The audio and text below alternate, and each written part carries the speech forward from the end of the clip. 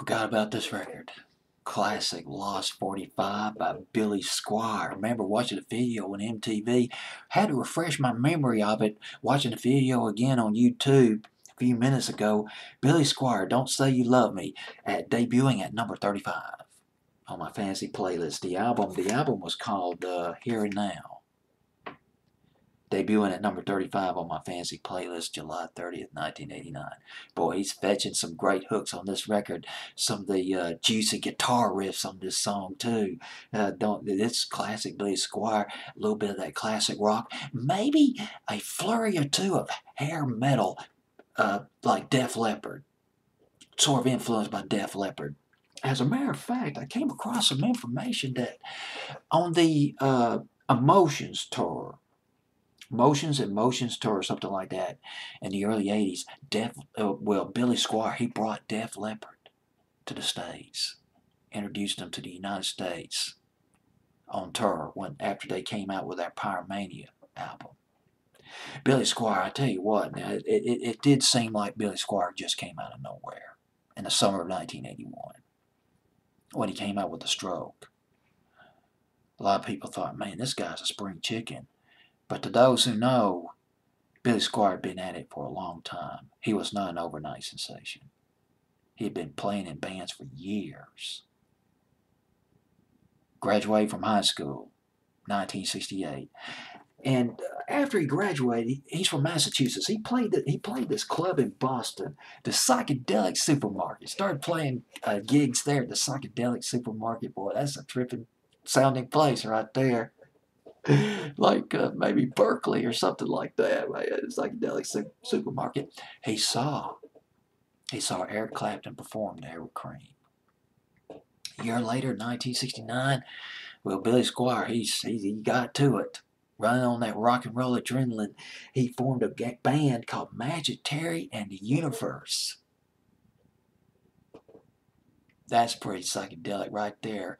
Reminds me of those those psychedelic groups like the Blues Magoos, the Seeds, and the Electric Watch. But what? Yeah, the Electric Watch Band, the Magic Mushrooms. Around this time, well, actually a little bit after that, 1971, Billy Squier attended the Berklee School of Music to become a music teacher.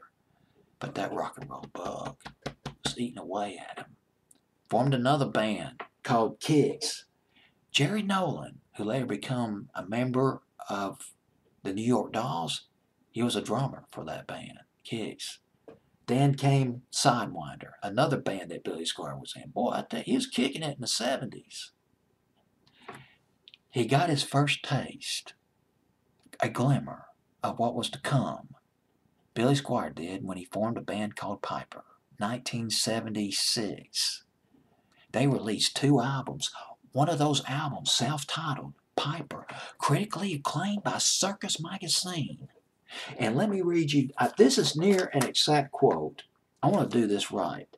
This is what Circus Magazine said about the album Piper. Billy Squier's band from Circus Magazine, quote, greatest debut album ever produced by a U.S. rock band or American rock band, unquote. May not be the exact quote, but it's very close to it.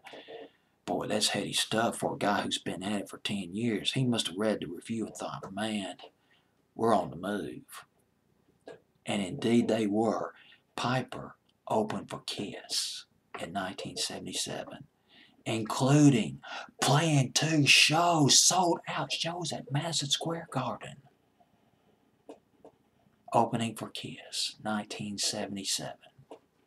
But then Billy Squier, he wings it, goes solo signs a deal with Capitol Records. The Tale of the Tape, released in 1980, his first album, didn't do much, but then there was Don't Say No. And that was the that was the charm. That sent him that that sent Bill Squier hurtling into platinum territory, platinum stratosphere, platinum orbit. Stroke in the summer of 1981. And then there was In the Dark. In the Dark in the fall of 81. It was commercial. But I'd say it was even harder than the stroke. Listen to that, listen to that guitar solo. The squalling guitars. It must have been multi-tracked. I mean, just a hurricane, a sonic hurricane of guitars with a nice melody to it, but got some bite. I'm rocking. And then there was a song that after that that was even more that was more commercial sounding but didn't do as well.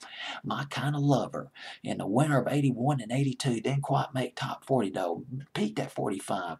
The album after that, Emotions in Motion and Everybody Wants You Another well it, I don't think it made top 30, but don't get fooled by these chart positions uh, because even if a song went to number 30 or 32, well, it got played a lot. Everybody Wants You got played a lot. A lot of people like that record. remember hearing the song on WLS in Chicago.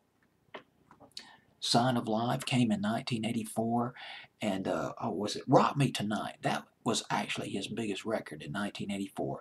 And then there was that controversial video where he was uh, in the bedroom kind of jumping around in a pink t-shirt. And it's not clear to me if it was his idea. Probably not his idea, but he thought, I read somewhere that he thought that it hurt his career. And a lot of people thought that his career went spiraling downward afterward. But Martha Quinn, a VJ of MTV, she takes issue with that. She said that she does not recall the video being poorly received. She thought it was a super fun video, and I agree with her. It's a, it is a fun video. It's a fun record. It's a great rock and roll record. But that would be his last top 40 hit. 1989, we come to that album. I wrote it down, Here and Now. Here and Now sold about 300,000 copies. But that record, uh, Don't Say You Love Me, went to number 58 on Billboard's Hot 100. Well, hey, at least it charted on Billboard's Hot 100. Hot 100. It deserved to. I mean, I'd put this up there almost with a White Snake record, Def Leppard. He was rocking on this song. Went to number four on the mainstream rock tracks charts in Billboard. And boy, he's doing a lot better on my fancy playlist than he did on Billboard's Hot 100, making a debut at number 35. Yes, I was I was on with this record. Billy Squier, Don't Say You Love Me making its debut at 35 on my fantasy playlist July 30th, 1989.